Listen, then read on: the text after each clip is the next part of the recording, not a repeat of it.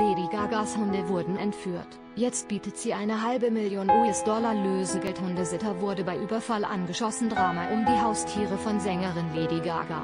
34.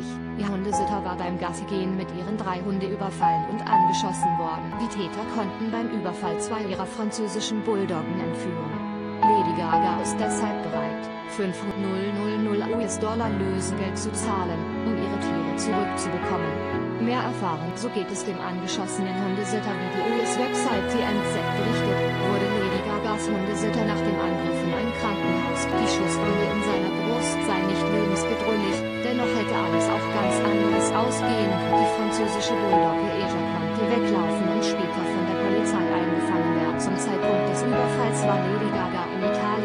Vorbesprechungen für einen Film. Sie will aber so schnell wie möglich zurück nach Amerika, um nach ihrem langjährigen Mitarbeiter zu sehen und bei ihrer Hündin Asia zu. Warum Lady Gagas Angebot an die Täter keine gute Idee ist wie TMZ erfuhr will Lady Gaga ihre Hunde unbedingt zurück und bietet 500 US-Dollar für die Rückgabe von Koji und Gustav, wie ihre Hunde heißen.